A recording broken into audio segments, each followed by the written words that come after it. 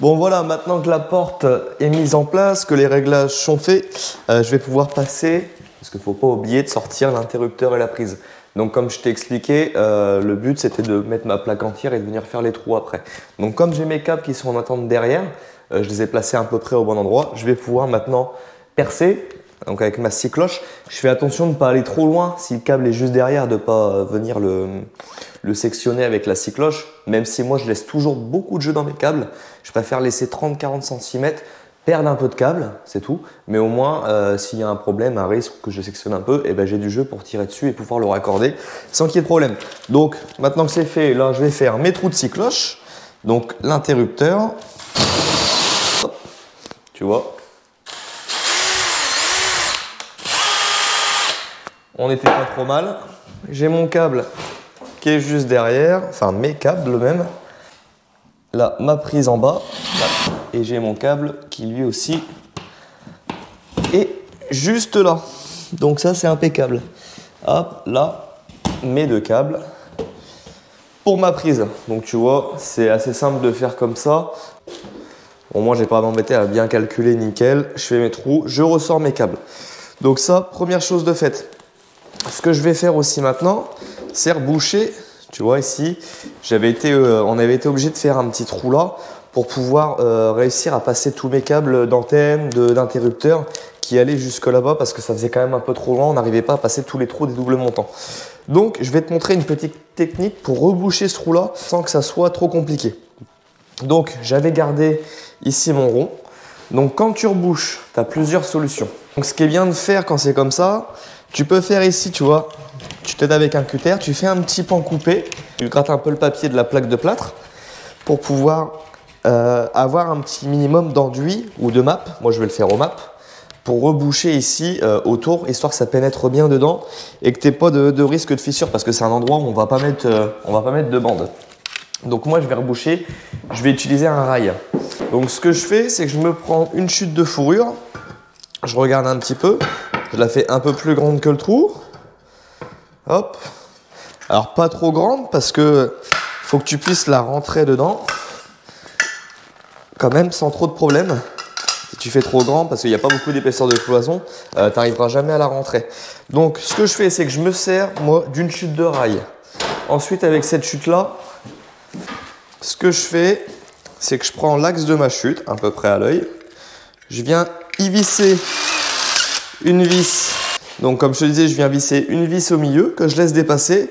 Donc pourquoi je fais cette vis là Parce que pour pouvoir venir visser ton rail là, euh, t'as pas, pas beaucoup de place pour passer tes doigts et maintenir ton rail pendant que tu vas le visser. Donc là, je prends mes vis pour mes plaques de plâtre. Donc c'est de la vis spéciale qui va avec cette plaque là. Donc c'est du solid rock. Euh, j'en avais beaucoup parlé sur les épisodes euh, où je plaque le, salon. Je t'invite à aller revoir si tu veux cet épisode là. Euh, pourquoi je mets ces plaques? C'est de la solid rock. J'en ai même parlé dans l'épisode d'avant, je dis des bêtises. voilà, plaque costaud, mais ce qui, il faut aussi une vis spéciale qui va avec. On est sur une vis pour plaque de plate, mais assez spéciale parce qu'elle a un double filetage à la fin. Si tu mets de la vis à, plaque de plate classique, euh, elle n'arrivera pas à s'enfoncer complètement parce qu'en fait ton filetage va s'abîmer dans la plaque tellement la plaque est costaud. Donc, ce qu'on fait, c'est que je prends mon rail, hop, je le glisse dedans. Hop, dans ce sens-là, parce que je vais le mettre dans ce sens-là parce que ici j'ai mon montant. Et en fait, cette vis-là, elle, elle me sert pour pouvoir mettre ma pince multiprise. Et comme ça, là, je vais pouvoir tenir mon rail. Tu vois, en, tirant dessus, le temps de visser, en fait, mes vis euh, dans ma fourrure. Donc, tu vois, je centre ma vis.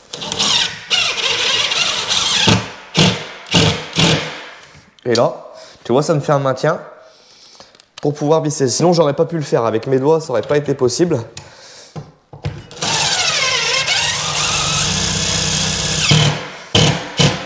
T'entends la choc, comment elle rentre dedans Tellement c'est costaud. C'est vraiment, quand je te dis c'est de la plate de plate ultra costaud, c'est que vraiment ça bouge pas. Donc maintenant que ça c'est fait, je peux retirer ma vis. Et là, ce que je viens faire, je prends donc mon bout de plaque de plate solid rock. Je retire une épaisseur de papier. Tu vois, je retire un peu une première épaisseur. On refait un petit pan coupé dessus. Toujours pareil, pour que la matière rentre bien en fait entre les deux, entre les deux morceaux. Tes bavures un peu en fait. Et surtout pour être sûr que ça ne vienne pas en surépaisseur et que ça se voit à travers l'enduit. Hop, donc tu vois ça c'est fait. Je peux venir placer ma pastille. Hop. La visser. Et tout ça, ça sera prêt à être réparé. Donc tu vois, j'ai de l'épaisseur. Je vais pouvoir avoir assez d'épaisseur pour remettre du map, de l'enduit et que ça soit complètement caché par la suite. Donc je vais refaire la même chose ici. Alors attends, parce que j'avais mis une première prise à la base comme ça, mais sans vraiment avoir, euh, décidé comment on placerait la, chambre. Donc là j'en ai un à et tu vois, celle-ci, la prise là, faut que je la remonte. Je l'avais mis trop basse, tu vois, je me suis trompé. Je sais pas ce que j'ai fait. Euh, je me suis trompé ici, donc faut que je remonte un peu. Donc je vais avoir un petit bout à faire. Donc euh, je vais pouvoir faire ça et après m'attaquer euh, à ma petite cloison qui me reste à faire de l'autre côté.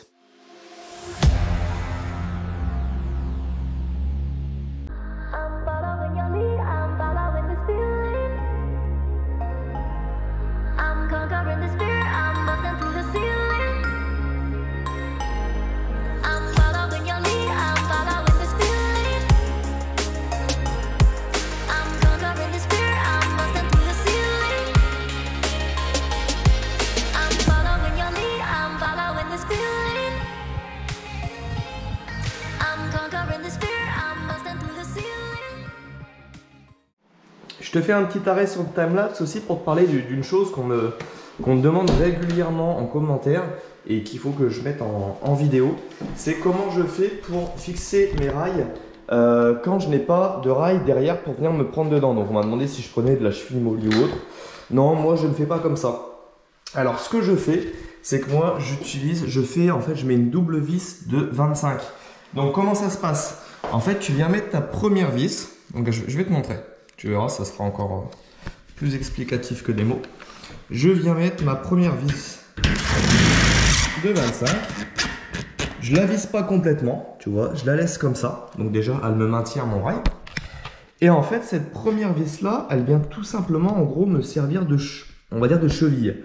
Ce que je fais, c'est que je prends ma deuxième, tu vois, je la mets ici, bien en biais, pour qu'elle soit bien en appui contre l'autre, tu vois. Je je visse. Et en fait, déjà en vissant, tu sens que ça serre.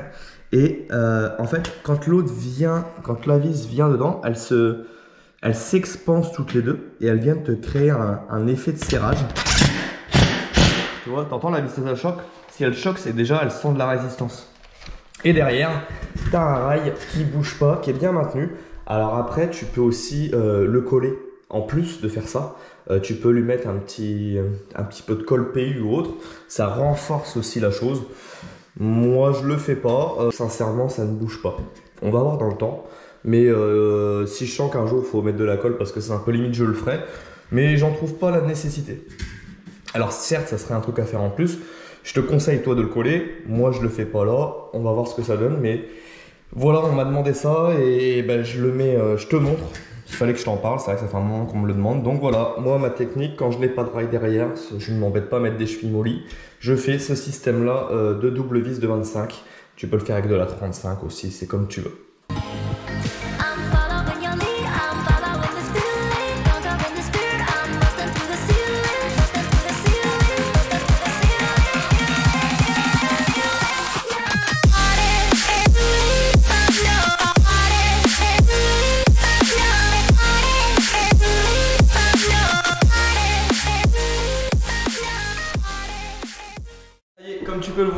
La cloison est terminée. Donc j'ai fait mon tour de cloison de dressing. Comme dans l'autre chambre, j'ai mis 2 mètres de long par 60 de profondeur, ce qui sera vraiment bien pour tes enfants. Euh, maintenant, je vais m'attaquer à, l'électricité. Donc je vais mettre tous mes pots en place. Je vais faire raccordement, je vais mettre quelques prises aussi euh, à leur emplacement. Et puis je vais raccorder là-bas. J'ai fait une petite boîte de dérive juste là-haut. Alors j'aime pas trop en faire, mais là elle va être cachée dans, dans le dressing au-dessus d'une étagère où j'ai amené euh, mes lignes prises, euh, prises et éclairage volé des deux chambres. Comme ça, voilà, au moins, si, si un jour il y a quelque chose à les refaire ou autre, j'ai quand même un petit accès, mais logiquement, boîte de dérive, on n'y va jamais, sauf cas très exceptionnel. Donc là, j'en ai mis une qui sera cachée dans le placard, comme ça, il n'y a rien d'apparent. Comme tu auras peut-être pu le voir, j'en mets pas non plus au niveau des veaux. Euh, voilà, je suis pas fan d'avoir euh, d'avoir des boîtes apparentes, donc j'en ai pas mis. Je prends le risque, on va dire, de pas en mettre, mais euh, j'ai mon alimentation de toute façon qui elle viendra directement à mon interrupteur. Donc voilà pour la petite partie ELEC. Maintenant, je vais, je vais mettre en place mes pots et je t'explique comment moi je fais mes va-et-vient. Je t'avais dit que je t'expliquerais comment moi je faisais. Donc je mets en place mes pots, mes quelques prises et quand j'arrive au va-et-vient, je te fais un petit arrêt sur image et je t'explique moi comment je tire mes câbles. Allez, go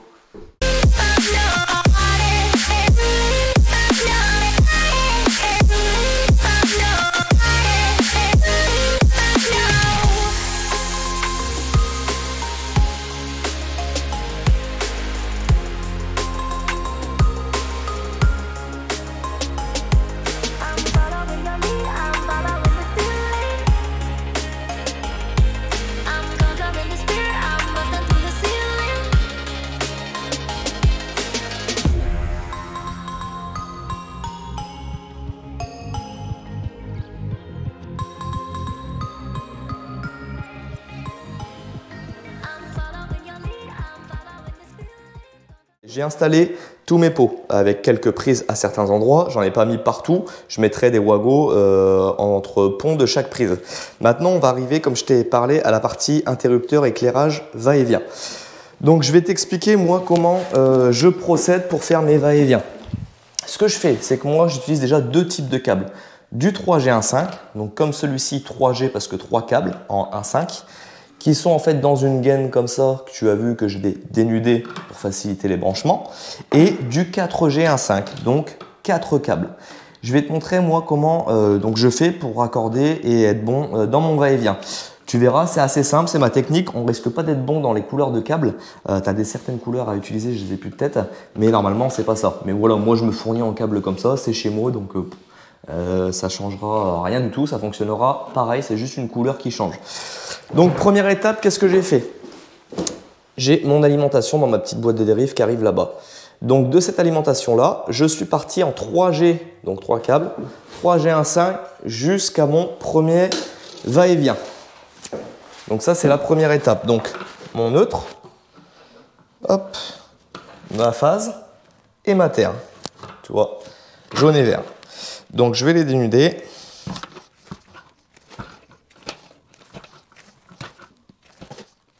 Donc voilà, maintenant euh, qui sont dénudés, je t'explique comment moi je me branche sur mon va-et-vient. Sur ton va-et-vient, tu as ta phase, ta, euh, ta, navette ou ton pilote 1, navette ou pilote 2, je ne me rappelle plus comment ça s'appelle, je crois que c'est des navettes. Donc ta navette 1, ta navette 2, et ici, chez le grand, ce qui est bien, c'est qu'il te rajoute un emplacement pour brancher tes neutres. Moi, sachant que je ne fais jamais, je ne ramène jamais mon neutre directement à ma lampe. Tu sais, en partant de ma boîte de dérive, euh, enfin, ou de mon alimentation, je repasse toujours par mes interrupteurs, que ce soit du va-et-vient ou de l'interrupteur classique. Euh, pourquoi je préfère toujours avoir mon neutre à dispo pour X raisons. Donc même si j'ai pas cette petite partie là exprès pour le neutre, je mets un wago, je laisse dans la boîte, ça me gêne pas. Et si un jour il faut intervenir pour X raison, j'ai mon neutre qui arrive directement à mon interrupteur. Donc ça c'est la première étape. Donc ce que je fais, c'est que je viens brancher mon neutre, donc le neutre qui arrive directement euh, de ma boîte de dérive, ma phase, donc dans l'emplacement phase ici prévu, donc le marron. La terre, hop, je la mets de côté avec un wago. Donc, hop, comme ça j'ai ma terre qui, repart qui repartira directement à l'autre interrupteur, mais ça je te montre. Hop, donc la terre. Bon, j'ai du jeu de câble, euh, c'est pas grave, c'est parce que c'est surtout, je voulais vraiment bien te montrer, c'est pour ça que j'ai mis beaucoup de jeu. Hop, donc ça c'est une première partie de fait. Ensuite, je vais me retrouver avec un pilote 1, enfin une navette, enfin deux navettes. Donc moi, moi, je me repère, en fait, c'est mon habitude à moi, je fais comme ça. Moi, je me repère euh, où ma navette 1, c'est mon marron. Donc, c'est mon autre marron qui est là, qui est pas assez dénudé. Alors c'est peut-être compliqué à comprendre tout de suite, mais tu comprendras après. Moi, je me sers de ma navette en le donc mon fil, mon câble marron en navette 1. Mon câble noir en navette 2. Alors pourquoi en navette 1 C'est un petit moyen mémotechnique pour moi. Tu vois, la phase rouge elle est là. Euh, et là c'est comme si je faisais comme si c'était ma phase. Euh, donc c'est pour ça que je repars en 1. Mais bon, tu fais comme tu veux avec la couleur que... Enfin, normalement pas la couleur que tu veux, mais moi c'est mon moyen mémotechnique. Le noir en navette 2. Et je me sers du gris, parce que c'est ce qui... Je me sers du gris, c'est ce qui se rapproche le plus de la couleur pour moi du bleu. Ah, voilà. Euh, pour mon neutre. Donc ici, ça fait que j'ai ma première phase, donc mon alim de mon 3G15, qui est branché sur la phase de l'interrupteur. Mon neutre, sur mon neutre, l'éther entre elles, le marron en navette 1, le noir en navette 2, et le gris qui me resserre de neutre. Donc de là, je repars maintenant au deuxième interrupteur. Donc mon deuxième va-et-vient. Dans mon deuxième va-et-vient, qu'est-ce que je fais? Eh bien écoute, tout simplement, je viens remettre, donc on repart avec le neutre que j'ai utilisé là-bas, le gris. Donc je viens le remettre dans mon bornier neutre. Ici, c'est mon 3G15. Donc, ah oui, pardon. Je te réexplique aussi, pardon. Donc j'arrive avec un... J'arrive avec mon 3G15 ici. De là, je repars avec mon 4G15 jusqu'au deuxième interrupteur. Si je t'explique pas non plus. Donc là, ça, c'est mes câbles pilotes neutre et terre. Donc là, je suis reparti avec le gris pour office de neutre. Ensuite, celui-ci, j'ai du coup un autre câble en 3G15 qui est arrivé dans cette boîte.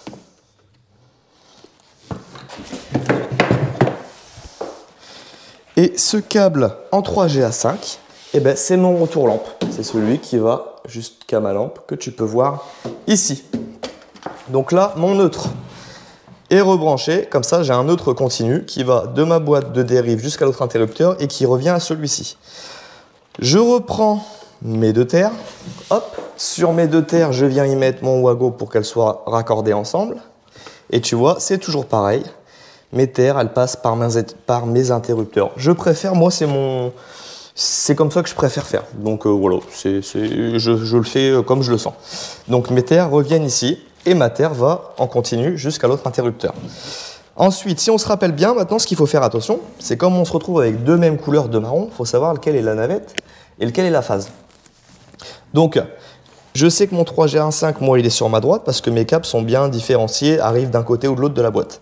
Donc je repars. Donc là, ça, c'est ma phase qui va aller jusqu'à ma lampe, jusqu'à mon ampoule. Parce que c'est du côté de mon 3G15. Ma navette 1, je me suis rappelé que c'était le marron de ce côté-là. Je la branche du coup sur la navette 1 juste ici. Et ensuite, navette 2, moi je me rappelle que c'est le noir et je viens brancher ma navette 2 ici. Donc là, on va regarder si ça marche, mais ça ne fonctionnera pas parce que j'ai pas encore alimenté dans la boîte de dérive. Le neutre avec le neutre. Hop. La phase avec la phase. Oh, bah tu vois, ça c'est allumé. Et ma terre avec ma terre. Comme ça, j'ai toujours mon éclairage qui, lui, est relié à la terre. Et donc maintenant, on va regarder tout simplement si ça fonctionne. Donc là, si j'éteins ici, hop, ça éteint la lumière. Est-ce que je peux aller le rallumer là? Donc tu vois, j'éteins, j'allume, j'éteins, j'allume. Donc là, je reste éteint. Est-ce que je peux aller l'allumer là? Voilà, tu vois, ça fonctionne. Donc là, c'est bien un va, un va et vient qui fonctionne très bien. Donc, tu vois, le branchement en soi, il n'est pas très compliqué, il faut juste avoir la méthode en tête. Pour moi, les legs, je me suis toujours dit que j'en ferais jamais. Euh, c'est trop compliqué. Et en fait, non. Euh, en réfléchissant, c'est comme une formule de mathématiques, tu un théorème de Pythagore ou autre. Une fois que tu as la formule dans la tête, euh, tu sais comment ça fonctionne. Après, le plus dur dans l'électricité, ça va être les normes qui changent tout le temps. Donc que ce soit des hauteurs de prise, des couleurs de câble, autres, enfin X raisons, j'en passe. Je connais pas même assez pour t'en dire plus. Mais voilà, c'est pour moi la partie la plus complexe de, l'élec. Mais au final, tu vois, on y arrive simplement avec du 4G15, du 3G15. on fait un va-et-vient, voilà. Après, c'est juste encore une fois une histoire de couleur. Moi, j'ai mon moyen mémotechnique dans ma tête qui fait que j'arrive. Donc euh, après, à toi d'avoir un moyen ou d'utiliser celui-ci. Mais je pense que c'est intéressant de montrer un peu comment fonctionne un va-et-vient parce que c'est quand même un peu. On, se dit que c'est très compliqué à mettre en place et quand on réfléchit bien, c'est pas si compliqué que ça. Donc voilà, maintenant ce que je vais faire, je vais remettre des wagos euh, où il manque, comme ça je branche mon, circuit prise et, euh, et on, sera, on sera pas mal. Allez, on repart. Bon voilà, ça y est, toute la chambre, regarde. Oh là là, le grand vide, l'espace, ça change. Donc tout a été bien, euh, bien rangé. Maintenant, je m'occupe de la dernière étape avant la prochaine étape. Euh, ça va être de retirer les radiateurs. Donc ben, forcément, pour pouvoir faire les enduits, les peintures derrière, ce qu'on va faire, c'est on va les retirer. Euh, depuis qu'on fait les chambres, les radiateurs sont à l'arrêt. Et on a senti vraiment la grosse différence quand on a fait l'autre chambre qui était isolé, plaqué, et après quand on est revenu ici, la différence de température, elle était quand même assez impressionnante, assez élevée. Et en fait là, maintenant que celle-ci est isolée, franchement, il y a un changement, mais de dingue. On sent vraiment le pouvoir de l'isolation qui est juste... Euh, qui est juste incroyable. Euh, parce que ben, maintenant que c'est isolé, forcément il y a moins de froid qui part. Et tu vois les radiateurs sont éteints. Et ben, malgré ça, on... je vais pas te dire qu'on a chaud, Bon, moi je suis toujours en t-shirt, donc ça va, mais il fait vraiment beaucoup moins froid qu'avant. Donc ça c'est super cool. Maintenant, la grosse étape, ça va être quoi Ça va être le plus chiant. Ce que j'ai attendu au dernier moment de faire, j'aurais dû les faire avant, ça aurait été mieux. Mais j'attendais, je repoussais, je repoussais, mais il va falloir les purger, donc les vider complètement. Et euh, pour pouvoir les retirer. Donc euh, je sais pas encore comment je vais faire. Toi, je préparais des seaux. Euh, des serviettes, des torchons, et puis on va voir un peu comment ça se passe. Donc je vais te poser là, et puis on va faire ça en espérant que ça se passe bien. On fait le premier radiateur, et puis on verra pour le deuxième après.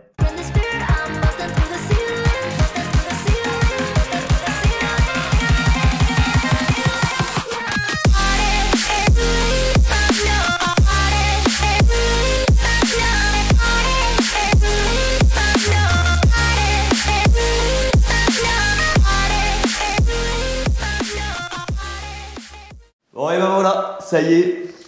Une bonne étape de fête. Ouais, les deux chambres sont enfin plaquées, isolées. Isolées. Électricité passée aussi. Euh, tous les câbles pour euh, Internet. Internet, ouais, Internet c'est fait. Télé. Alors, je t'ai pas expliqué un petit truc qu'on a fait ici. Euh, là, ici, donc on a. Alors, la chambre des noix est plus grande, mais plus embêtante à aménager du fait des deux fenêtres. Du coup, on a mis ici les prises télé et on a mis de base là le RJ45 pour euh, le bureau.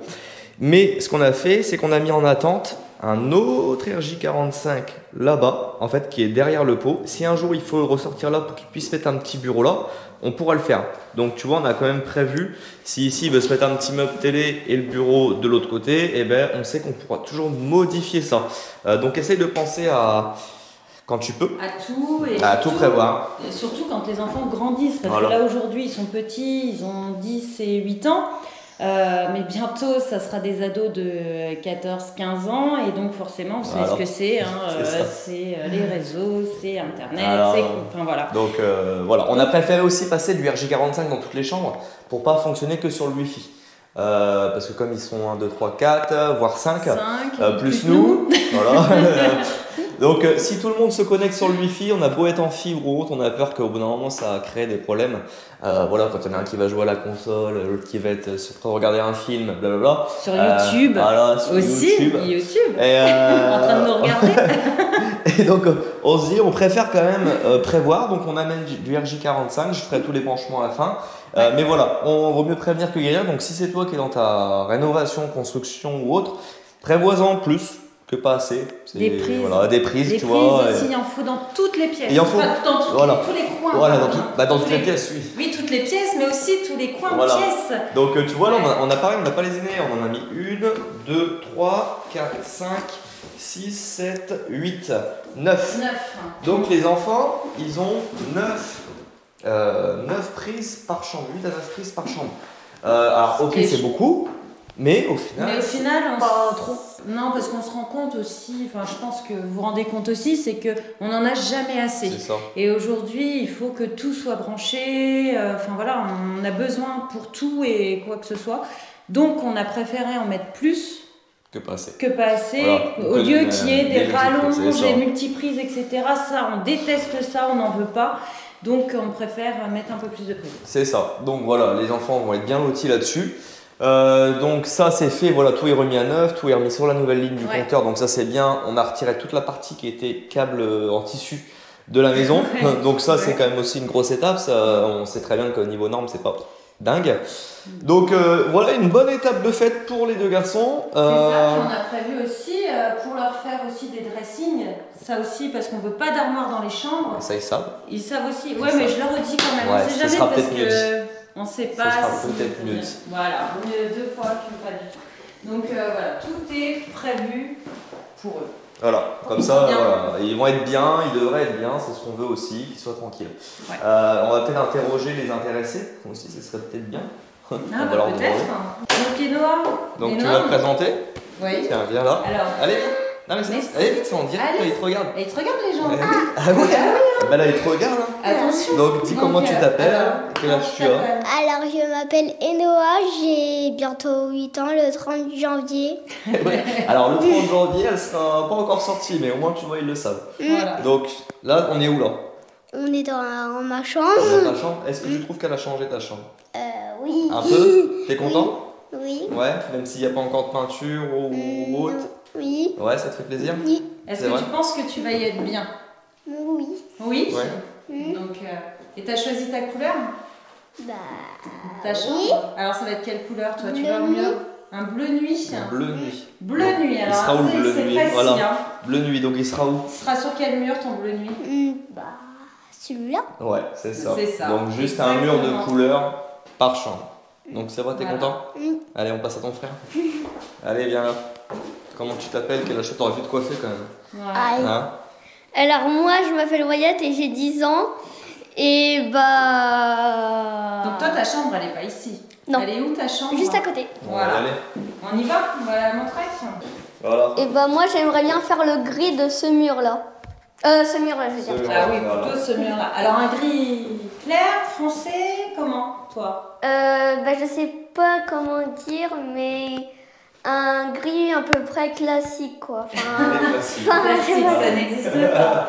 Voilà, Enfin, c'est plutôt un gris anthracite, on C'est un gris plutôt foncé. Est-ce que toi, tu déjà que tu veux que ce soit plus clair euh, oui. Oui, Ouais. plutôt un gris souris alors peut-être. Oui, voilà. Donc on regardera sur le nuancier de toute façon.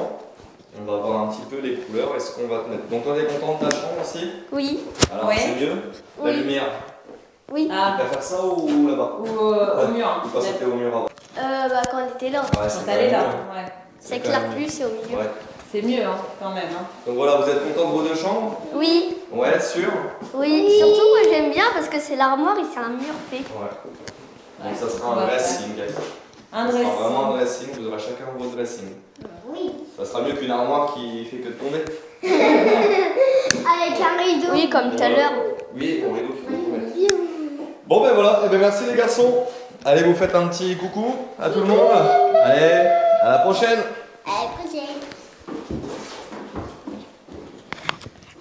Bon, bah voilà, je pense que, bah, je pense que les garçons, ça leur fait plaisir. hein. Je Voilà. pense qu'on va avoir, euh, on va leur faire une belle chambre et qu'ils vont être bien. Tu penses, chérie? Non, je pense. Ouais. Ouais, ils vont être bien. Bon. Bon, en tout cas, on a bien Verdict, bossé. euh, verdict euh, dans quelques temps, quand tout sera fini et qu'ils seront dedans. Bah ouais, on c'est ça. on verra, mais vous, de toute façon, vous allez le suivre au quotidien. C'est ça. Euh, donc voilà, une bonne chose de faite, on a bien bossé. Ouais. Chérie aussi a bien bossé, l'isolation elle a assuré. Tu vu, elle a fait des petites coupes de placo à la fin. Toussé aussi, toussé. Elle a- je lui ai Oh, passé un masque à un moment, mais elle n'arrivait pas. non, je supporte pas. Donc euh, c'est tout, voilà, toussé un petit peu, mais mettez un masque, pensez-y quand même. Ouais, c'est quand même euh, lunettes, mieux, gants, euh, c'est pas plus mal. Mm. Donc ben voilà, une bonne chose de faite. Maintenant, Ouais. euh, on va en arrêter là pour cet épisode, hein, ça sera bien. Et prochaine étape, alors je sais pas encore, soit les enduits, soit les volets. On verra en fonction des, des matériaux. Mais du coup, si ça t'a plu, cette première grosse étape, Bah, qu'est-ce qu'il faut faire? Ouais, Bah, il fait déjà un un pouce. petit pouce. On s'abonne. Attention, on ah s'abonne. si ça t'a plu que tu veux continuer à voir, Exactement. Eh, il faut s'abonner. Et, et, et, et, un petit commentaire, franchement, franchement, ça fait toujours plaisir. Ouais, on, vous lit, on vous répond et voilà. C'est ça, exactement. On lit tous vos messages, euh, que ça soit chérie, moi aussi. Moi, je réponds pas forcément, mais en tout cas, chérie répond toujours et je lis vos messages et ça fait énormément plaisir. Enfin, quand je, quand je vois tout le monde qui nous suit, etc., c'est. C'est juste ouais, ça fait vraiment plaisir. Ouais, merci. Merci à vous. Et sur ce, on vous dit à dimanche prochain. Ouais. Tchuss